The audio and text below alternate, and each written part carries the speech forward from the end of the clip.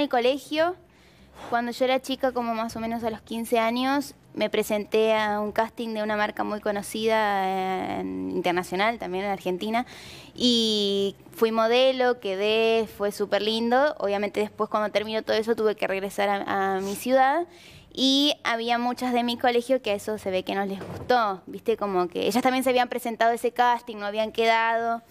Este, entonces empecé a tener como ciertas situaciones incómodas con mis compañeras. Sí, bullying. Bullying, claro, sí, sí, sí. Estábamos en un cumpleaños de 15 y me acuerdo que yo entré al baño a, hacer pis y, me sacaron una foto por abajo de la puerta y después la publicaron en Facebook. y bueno, eso sí, es violencia. Es otro sí, obvio, es violencia, muy triste. ¿No, Doman? Es violencia pura. Sí, sí, sí, además es, es, jodido, no, no, no. Sí, cosas así, millones, eh, no sé. Me siempre que salía del colegio me mandaban mensajes por una página, viste, esas incógnitos, digamos, por páginas de que, no, no se sabe quiénes son, le mandaban mensaje a mi novio también en ese entonces diciéndole que yo era cosas horribles, a, mí también, a mi familia. Eh, la verdad es que no estuvo bueno. Yo conté también la anécdota de Milagros.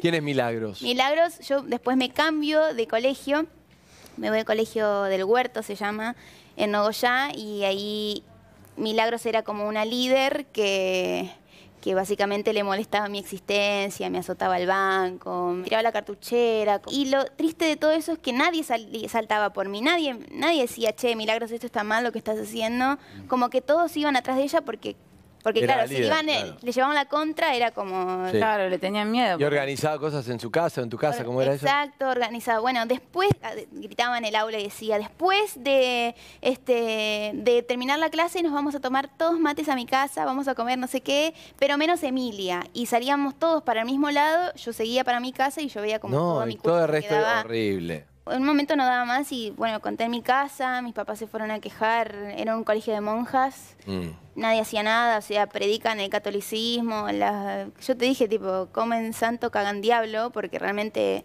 ella me acuerdo que después me pidió perdón. ¿Cuándo? Cuando terminamos el colegio, o sea, cuando ya me le hizo pasar muy mal, me pidió perdón y, nada, la perdoné, pero es algo que a mí me ha marcado mucho. No les guardo rencor, digamos. Sí me gusta contar esto para concientizar también que, se, que es algo que se vive en los colegios y, y por ahí, no sé, los preceptores, los, los, profesores hacen oídos sordos y, hay cosas mucho más graves que las que me pasaron a mí. Entonces está bueno contar esto para que también sus, los padres estén al tanto. Bien.